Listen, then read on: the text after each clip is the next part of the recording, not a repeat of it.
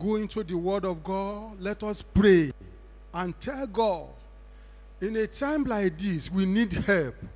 You will open your mouth and tell God, Lord, in a midst of scarcity, give me an abundance.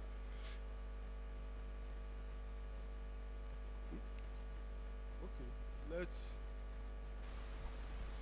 praise the Lord. You are welcome to our throne of mercy.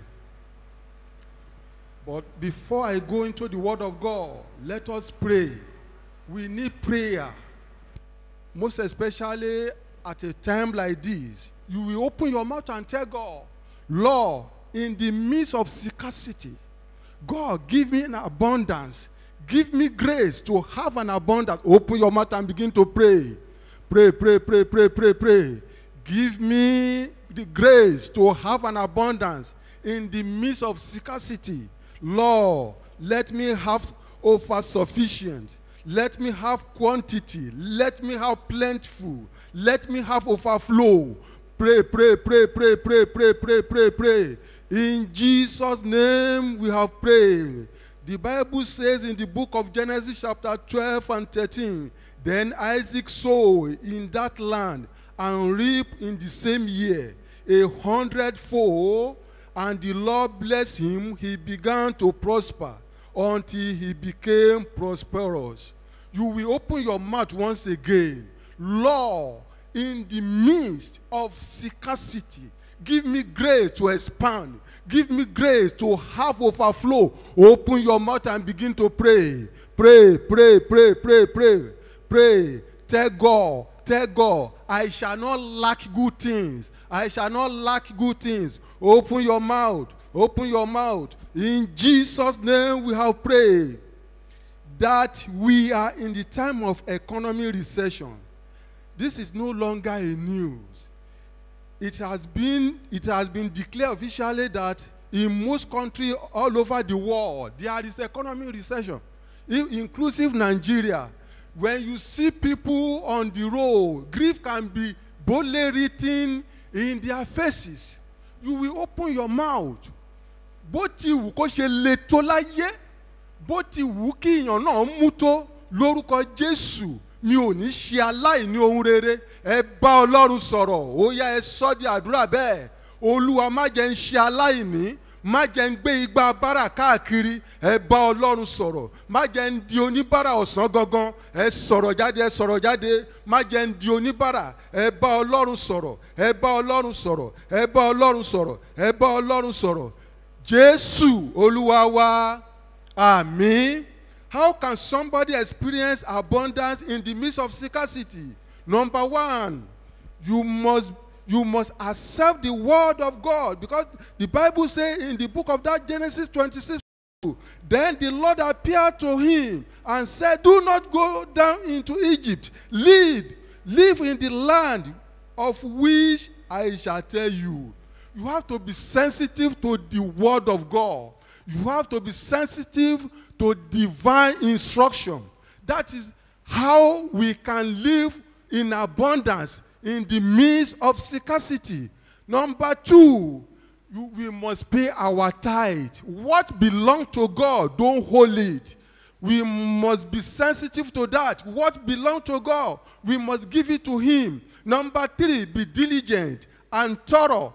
Be hardworking and industrious. The Bible says in the book of Proverbs 20, 24, 21, verse 5, says the plan of the diligent lead to profit, and surely as haste lead to poverty. You must be industrious. Ẹ má yọ̀lẹ. You have to be dynamic. You must know how to how to turn one naira to two naira in a time like this. Kẹ́ má bàa di ẹni tó ń gbégbá bára káàkiri. Ẹ gbọ́dọ̀ mọ bí èèyàn ṣe ń ṣiṣẹ́ ọ̀lẹ ò ráyé wá ní àsìkò tí a wà yìí tó o bá fẹ́ padà sílùú yín tó o bá fẹ́ fi èkó sílẹ̀ o gbọ́dọ̀ tẹpá mọ́ṣẹ́. Ohun tí ìjọba ń sọ nìyẹn. You must understand that. Or else you will just find your you find yourself where you don't belong. I pray to all everybody under the sound of my voice in the midst of scarcity may god give you abundance of plenty in the mighty name of jesus christ. Thank you everlasting father. Thank you jehovah In Jesus' name we have prayed. Lord, praise the Lord, praise the Lord. Thank God for that prayer session, the first prayer session that was led by Pastor uh, Shomuiwa. I'd like to continue um, in this prayer uh, segment by leading us to pray that God will help us to follow the right person or the right people in life. John the Baptist had these two great disciples following him. And when they saw Jesus, the Lamb of God, John the Baptist pointed them to Jesus and said to them, Look at Jesus, the Lamb of God. And then they went to Jesus and said, We want to know where you live. Where do you live? And Jesus said, Come and see. Now, in life, people, so many people have followed the wrong friends or the wrong set of people. Some people have gotten married to the wrong person. See a lot of people killing themselves today. Husbands stabbing wives to death, wives stabbing husbands to death. Because in the first place, they got engaged with the wrong person. Some people have gone to the wrong church because you had a problem.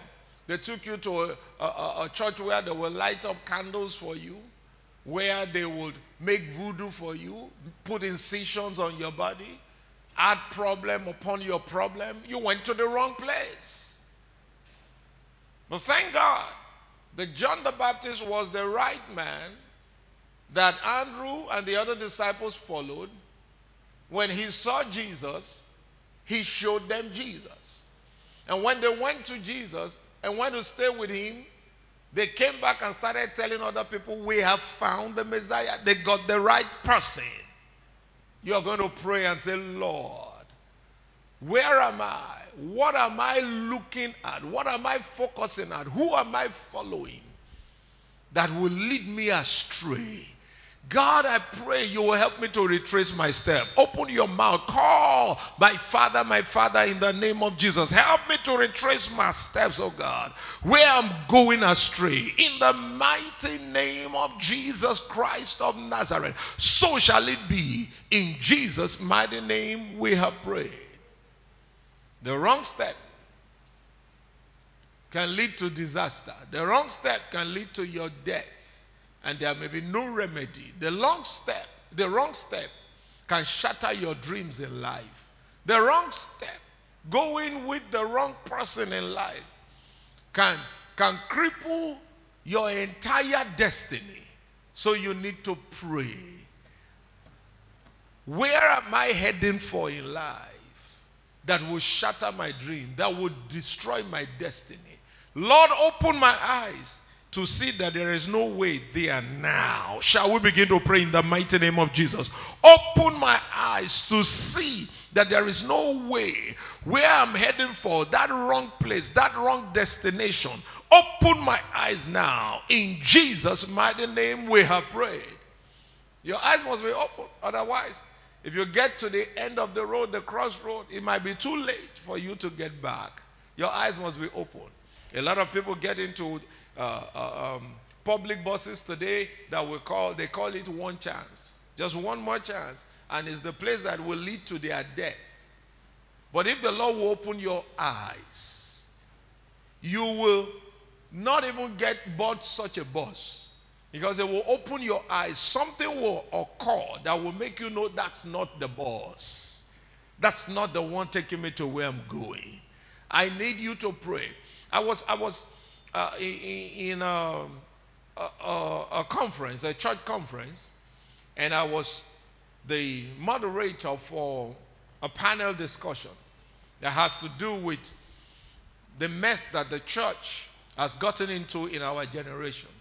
And we talked at length on so many things and what we need to do. And people were asking questions. So, how do we identify the right church?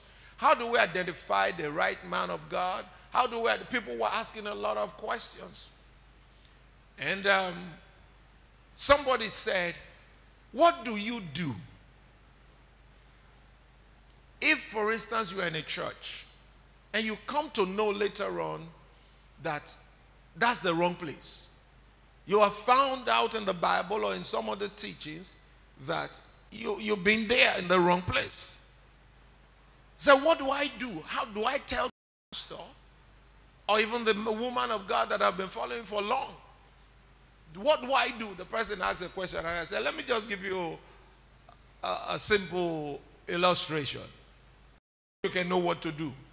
Let's assume you bought a bus. You are in Lagos. You are somewhere in Yaba here. And you bought a bus. You are on your way to uh, Maryland or to Ikeja. But as you boarded the bus from Yaba, by the time you got to uh, Jibowu, you realized that the driver was crossing from one lane to the other and getting over the culvert and coming back to the lane. And I said, if he gets to Fadeyi to drop passengers, what should be your next step? Are you going to continue with him in that bus to Ikeja? You already know you are heading for death because he's drunk. You can see him crossing from one lane to the other. You want to ask the other person in the car or in the bus, should we continue? Is that going to be your question? No. You will be glad that he got you to Fadeyi bus stop where some people are going to alight from the bus and you will get down and board another bus. So if you are following the wrong track, you are going the wrong way that can destroy your dream. I pray that God will give you the courage to step out of that track and get to the right place in life where you can fulfill your destiny. In the name of the Father, in the name of the Son, in the name of the Holy Ghost, I pray that you will get up, even if you are sitting in the wrong place. If you are sitting in the wrong place, doing the wrong things, may God help you to get out of it, get up, and go for what He wants you to become in life. In the name of the Father, if you are in a wrong relationship, May the Lord help you to get out of it and go into the right relationship. If you are following uh, or going uh, uh, uh along the way that can destroy your God given destiny. May the Lord help you to come out of it now. In the name of the Father, He will speak to you in your dream. In your sleep, He will speak to you. He will send people to you to talk to you. He will send prophets to you to speak to you. He will open your eyes when you are reading the scriptures to know where you should be and where you shouldn't be. In the name of the Father, Son, and the Holy Ghost. Thank you, Lord. In Jesus' mighty name, we have prayed. Amen. I bless God for this prayer service, and I believe your testimonies are on the way. You're coming to share testimonies. Until we come your way again, remain safe, strong, bold, and rapturable. In Jesus' mighty name. Amen. When the trumpet of the Lord shall sound, and time shall be. Thanks for watching you can connect with us online for service at Facebook forward slash CACVOMDCCHQ, on Instagram at CACVOMDCCHQ, and on YouTube at CACVOMDCCHQ. You can also fellowship with us at Christ Apostolic Church, Vineyard of Mercy District at number 45 47 Commercial Avenue, Sabo Yaba, Lagos. Telephone 08063498213 or 09025107346. God bless you.